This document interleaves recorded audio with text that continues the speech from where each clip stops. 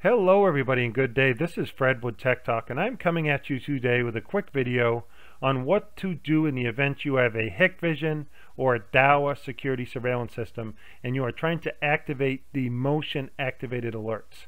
All of these systems have built-in capabilities that will allow the camera or the NVR slash DVR to email you a still shot of a motion event on your property. This works relatively well with most email exchange servers. However, uh, Gmail gives people fits. The reason for this, there are a couple of extra steps that you have to take in your Google account to allow your email server, Gmail's email server, to communicate with the NVR. Um, Two-way authentication has to be shut off um, and some other settings have to be adjusted. It's a simple process. We're going to cover it right now.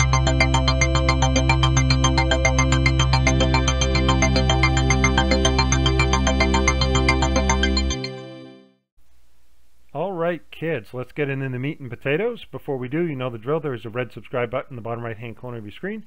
Please subscribe to our channel if you have not yet done so, so you'll be notified when we upload future content.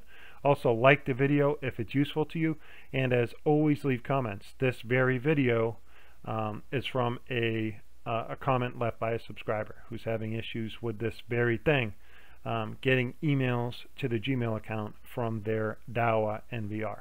Okay, so that's what we're going to do. The first thing we're going to do is log into our camera. Of course, at this point, the camera has already been activated. It is networked and it is live on our network. If you have not watched previous videos on how to complete that process, there's a video going across the top of your screen right now that you can click on um, and get caught up to this point. Uh, again, the camera has to be networked and it has to be activated uh, before you can log into it. So this is a capture camera that is manufactured by Dahua. Once we log in, um, the operating system is exactly the same. So we're going to go ahead and log into this camera.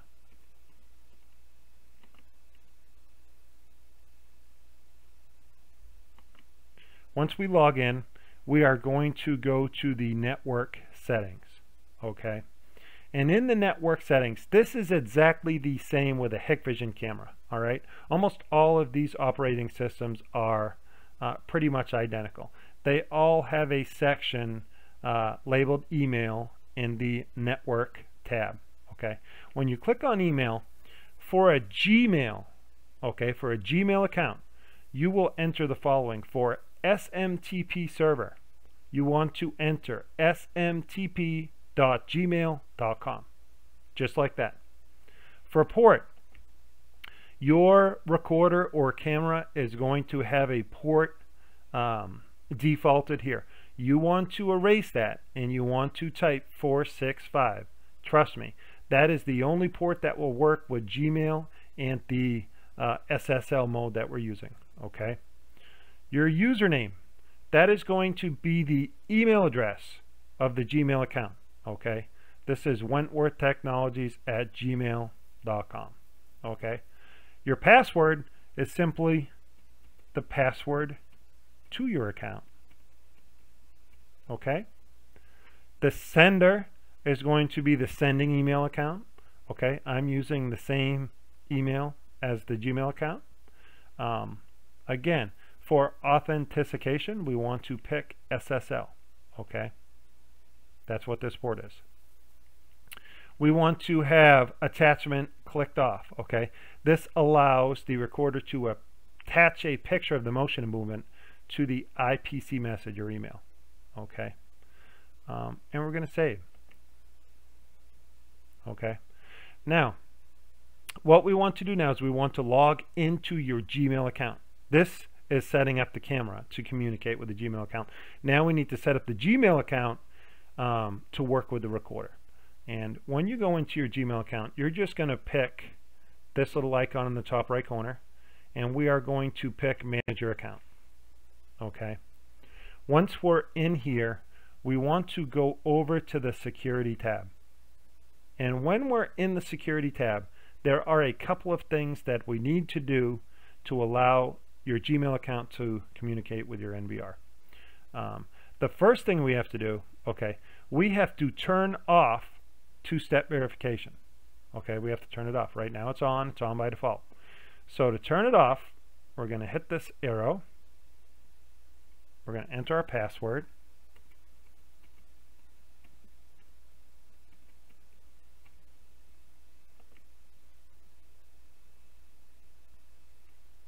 And we're going to turn it off.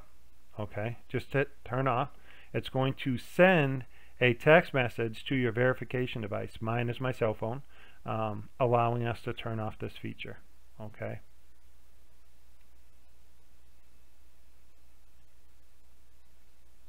And right now, um, as you can see, we've turned the two-way two-step verification off. Okay.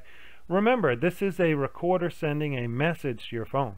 Okay. To set up the recorder, it does not have the ability um, to enter two-step verification. A, a, a, recorder or a camera is not that smart.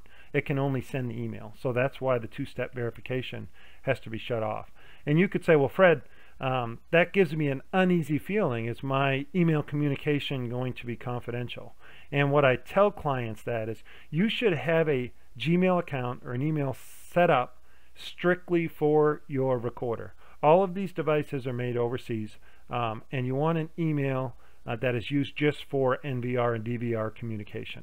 Okay, you don't want this hooked to a work email uh, or even a personal email. Uh, you want to set up a Gmail account just for um, for your surveillance system. And the good thing with that is you can also change the tone, right? Um, at least for me, when my work email goes off or personal email goes off during non-business hours, um, it goes off a lot and I don't even pay attention to it most of the time because it's not business hours. Um, if you have this account set up with a different beep on your phone when a mail email message comes through, you'll pay attention to it. A lot of people do like a police siren uh, or some type of siren. It catches your attention. You know, oh shoot, that's my security cameras. I need to look at that. Um, so just a word of caution on that. You, you want to use this account just for your surveillance system. The other thing we want to do, down at the bottom, there is a less secure app um, access. And it says your account is vulnerable because you allow apps and devices that use less secure signing technology to access your account. That's the recorder.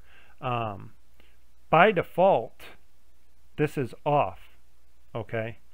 So most likely, when you log into your machine and we go down to less secure app access, it's going to be off because that's how it is by default.